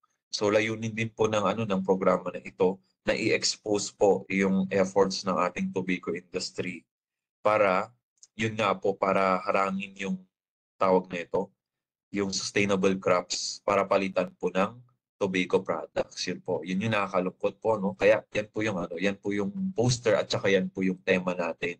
Kasi instead po na sustainable ah, food po sana or sustainable crops yung ating ah, pinagtutuunan ng pansin dahil yun nga po isa po yun sa nagko-contribute sa krisis pagdating sa pagkain sa buong mundo ay mas nagfo-focus pa po sa tabako yung ating yung mga big companies na ah, pagdating sa ano sa tabako, sigarilyo at kasama na rin po yung vape. And ah, yun nga po, yun yung layunin ng or yun yung tema ng ating ah, World Tobacco Day. So ayan po. So sana po sa maikling ah, maikling presentation po na yan or sa maikling discussion po yan pagdating sa ating health events ngayon may mapaalalahanan po tayo sa mga events na ito at makilahok din po tayo sa mga activities na kalakip ng mga nabanggit na aktibidades po natin sa buwan ng Mayo. So muli po, ako po si Dave Bolinto ng ah, Health Education and Promotion Unit ng BGHMC at maraming salamat po sa inyong pakikinig.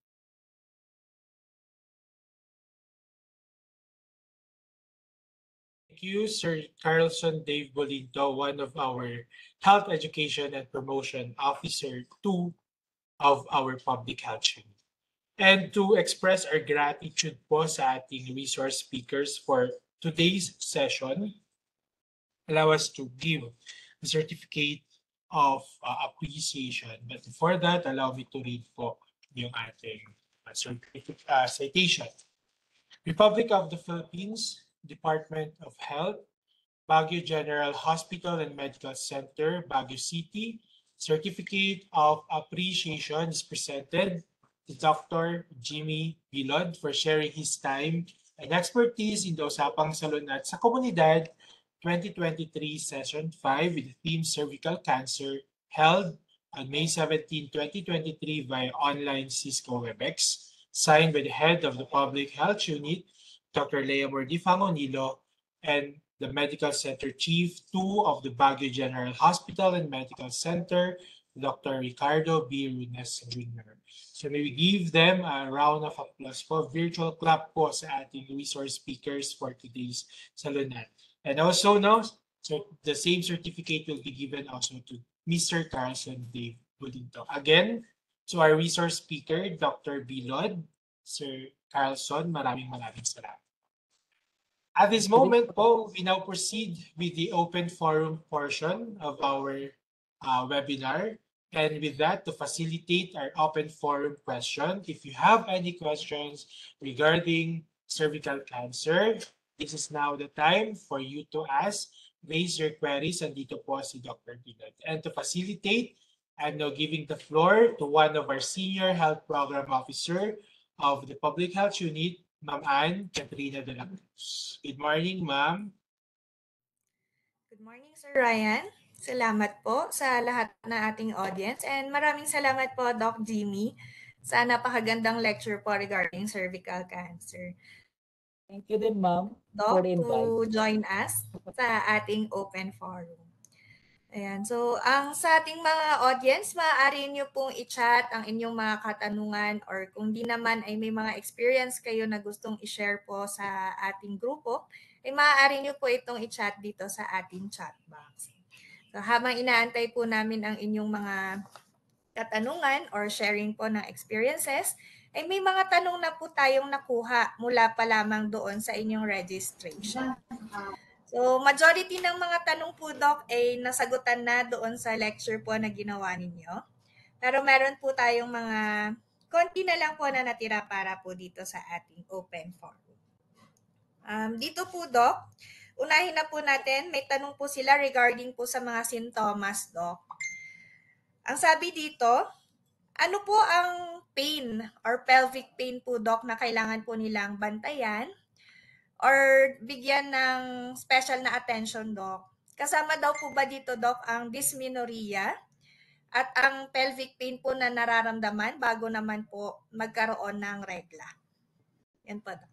Ayan. So, tama po yun. So, ang dysmenorrhea ay magkaiba naman.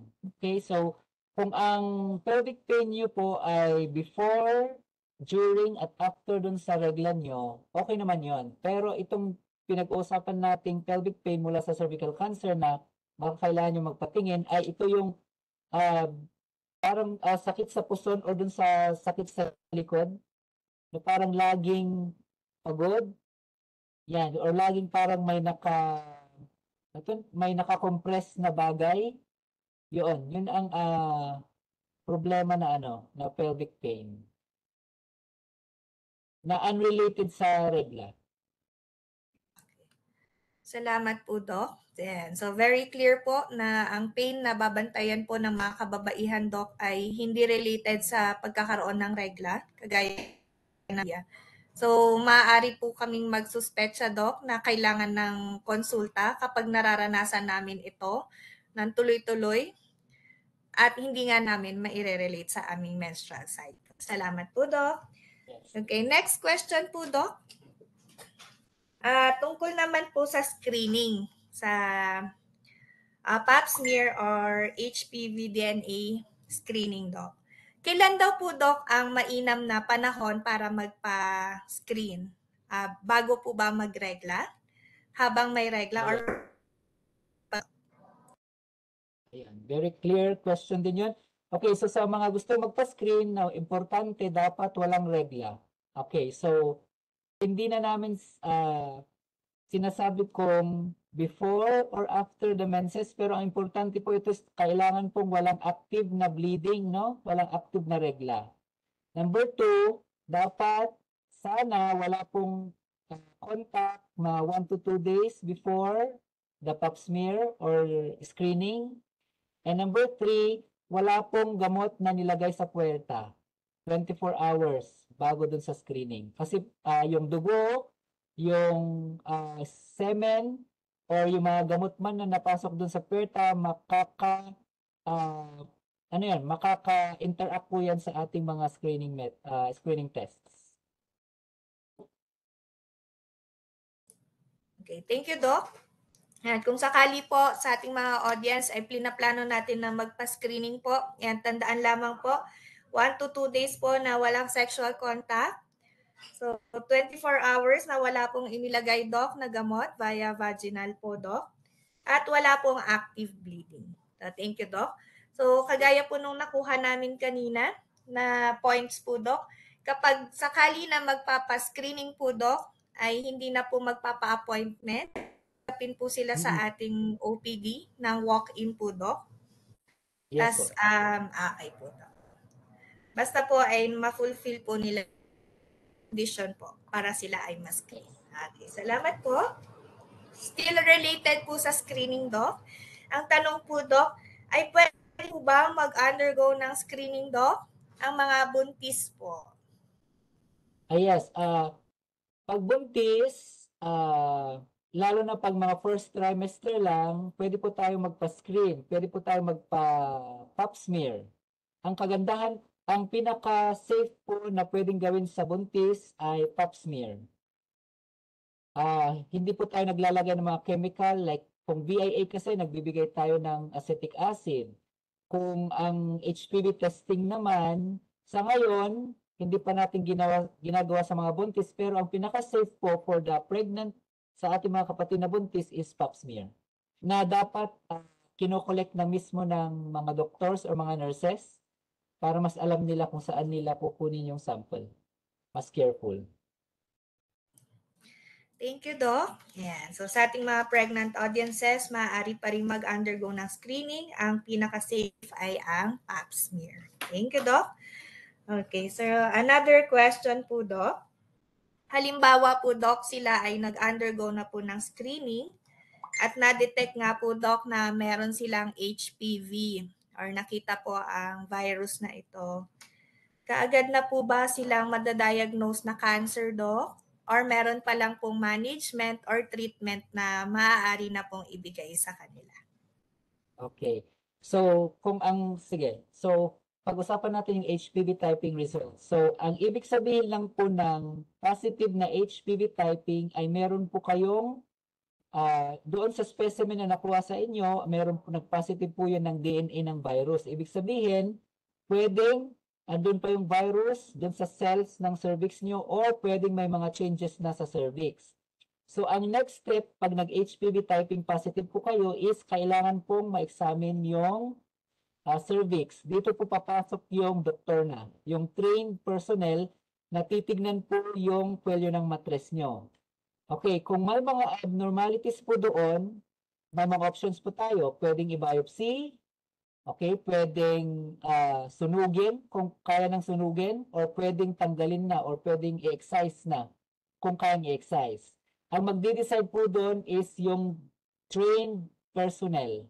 Okay? So, ilan lang po ang trained personnel natin dito sa Baguio Gen.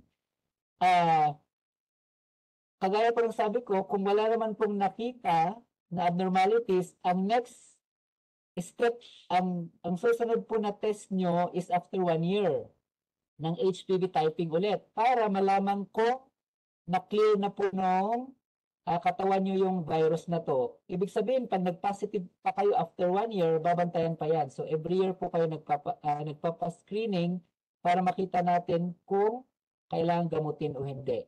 Pero kung may nakita naman doon sa is, ah, sa examination natin, yun, pwede nating i-burn, pwede nating tanggalin, or pwede nating i-biopsy.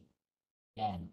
So, ang concern nyo po is baka pag nagpa HPV pa, ah, pag nag-HPV positive ay magiging cancer na, hindi po ibig sabihin may cancer na po kayo. Ah, may ito po yung chance natin na gamutin yung nag-positive na HPV na yon. Yun. So clear po yun ha. HPV positive uh, result is not equivalent to a cervical cancer. Baka yung iba kasi nga natatakot nga. Ayan. Clear po, Doc. Ayan. So, kapag nag-screening po tayo, nagpa susunod is cervical cervix examination. Tapos pag negative nga po, Doc, sa kung ano yung findings or hahanapin na indicative of cancer, Doc, ay ah kailangan namin ng susunod na test ulit, Doc, after one year para makita nga po kung nandun pa rin po ang HPV virus. Salamat, Doc. Very clear po. Nabawasan ang nervyos, Doc, sa pagpapascreening. Thank you po.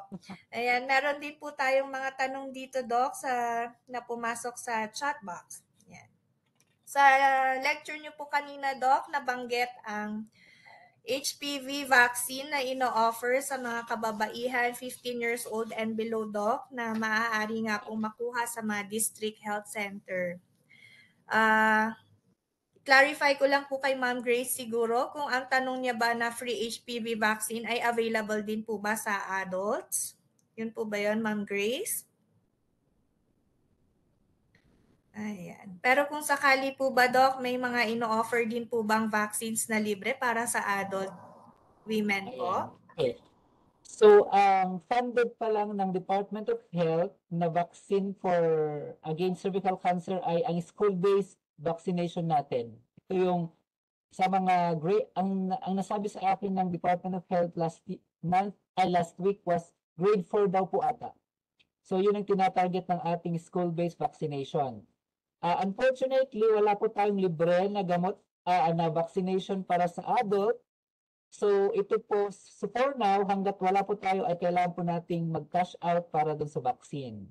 So, may, ang range po ng vaccination natin ay 4,000 hanggang 7,005 ang price. Per shot po ito. Times 3 doses. 3 shots. Okay. And so sa adults po, ayan. So wala pa tayong mga program para sa free, free HPV vaccine for adults. Pero pwede po nating pag-ipunan kasi prevention nga po is better than cure, Doc. Malayong mura na po, Doc, ang 7,000 pesos kaysa po doon sa buong treatment ng cancer po, Doc. Maraming Agree. salamat po, Doc. Ayan. So sa ating mga audiences, may iba pa po bang mga tanong na maaari nyo pong i-chat dito sa ating chat box. Ayan, siguro dito, Doc, may tanong po si Ma'am Virgie Sestona. Ayan, yung mga nag-menopause na po, Doc, pwede pa rin daw po ba silang mag-undergo ng screening? Okay, so ang tanong is yung mga nag-menopause pwedeng magpa-HPV testing. Okay, generally, yes, pwede pong magpa-HPV test pa rin ang mga menopausal patients, ah, mga menopausal clients natin. Pero para po sa ating project ngayon, yung sinabi ko na success project ng John Hopkins at Department of Health, kailangan pong ang up to ter- 49 years old lang po ang pwede nating ah tanggapin na clients kasi baka ma-audit po tayo ng, ng Department of Health. Pero kung gusto niyo pong magpa-screen at magpa-HPV typing sa labas, pwede po. Kahit menopause po kayo, kahit 60 to 65 years old po kayo, pwedeng pwede yan. Thank you, Doc. Yan. So, Ma'am Virgie, yan. pwede po magpa-screening. Punta lang po sa ating BGH, uh, BGHMC Outpatient Department para sa ating screening. Uh, follow up, question po from, ah hindi, Ah, another question from Ma'am Virgie. 15 years old, pwede sa HPV vaccine, pero sa iba 9 to 14. Okay, Doc. Sa sabi po ni Ma'am Virgie, 15 years old po ay pwede sa HPV vaccine. Pero sa iba, 9 to 14 years old lamang po pwede. So parang dito sa tanong niya, Doc, ah, meron po bang mga age bracket po, Doc? Ang Oo. parang na, na vaccine sa baihan, Doc. Okay, so ang ating ah, recommend ang recommend ang Department of Health and W uh, World Health Organization kasi itong project po nila is yung 9 to 14 years old, ito po yung binibigyan nila ng free vaccination. Okay. Ibig sabihin, pag 15 years old and above, hindi po pwedeng mag-avail ng free vaccination. Pero, ang 15 years and above, pwede pong magpa-vaccine pa rin. Okay. So sa 9 to 14 years old, two doses po ang vaccination. So first month, then after 6 months.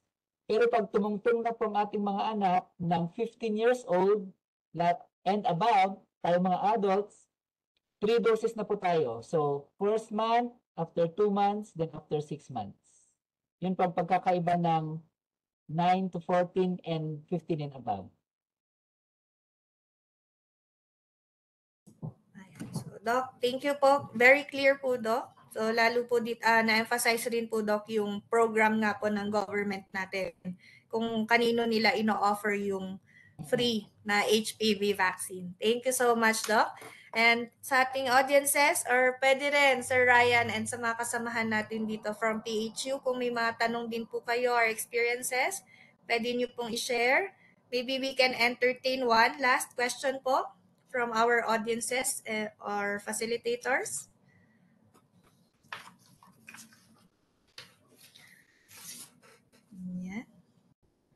Okay, so mukhang wala na, Doc. So, again, Doc, maraming salamat po. Ah, napakaganda po ng pag-deliver ninyo ng lecture regarding cervical cancer. Marami kaming natutunan, Doc. Nabawasan din ang aming kaba. Kagaya nung sinabi natin kanina na may mga ninenervyos po kasi. Kaya siguro mababa yung ating mga ano ng pagpapascreening. So, hopefully, nakatulong po ang platform natin ngayon na manghikayat ng mga kababaihan po na magpa-screen po para dito sa HPV. Muli maraming salamat po, Doc and Sir Ryan. Ako po si Katrina. Isasara na natin ang ating open. Thank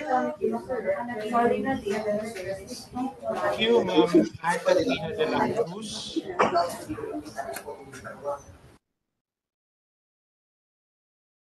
Ayan.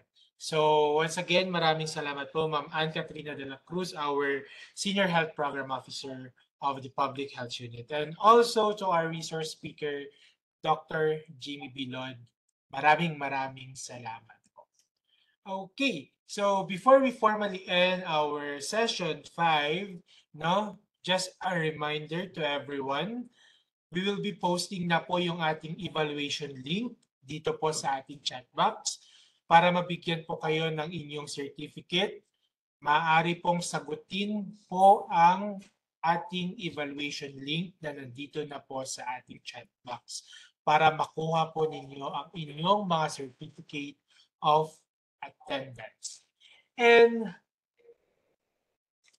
sa darating po na May 31 again, meron po tayong special edition in celebration of the Road Safety Month. And sa darating na buwan, we are celebrating the Prostate Cancer Awareness Month. So kung ngayon kababaihan po yung ah, ah, para sa kababaihan po yung ating lektura, sa susunod na buwan, patungkol naman po ito sa prostate cancer. So magiging focus po natin talakayan ng patungkol sa prostate cancer and of course, uh, i-discuss po natin ang mga disadvantage or ah, ng pag-vape po ng isang tao. Okay, so nandito na po sa ating chat box ang ating evaluation link. And allow me to um, promote also, we have our Facebook page, no? Group, PGHMC8CPN CS link. Sa mga nagtatanong po kasi bakit raw po wala na po silang nakikita na sa Lunat. Every third Wednesday po ang ating usapan at dito po kasi namin pinupost sa PGHMC8CPN CS link Ano tayo nag-ano, nagsasalita? yung ating um yung ating mga Ano yung ano, yung pag-evaluation na usapang salunat sa komunidad.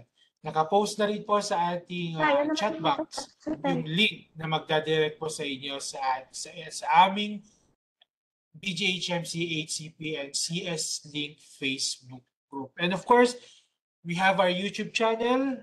Bisitahin lamang po ang YouTube. Tignan ang BJHMC Usapang Salunat.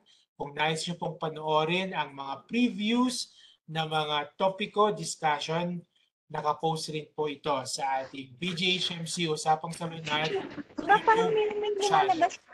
Again, So all our participants for today's session, magkita-kita po muli tayo sa darating na Mayo Hindi pa tayo 31 para naman sa Road Safety Month celebration. Maraming maraming salamat po for joining us today. Have a good day, God bless, at ingat po tayong lahat. Once again, I'm Ryan Rubang of the Public Health Unit. Thank you po.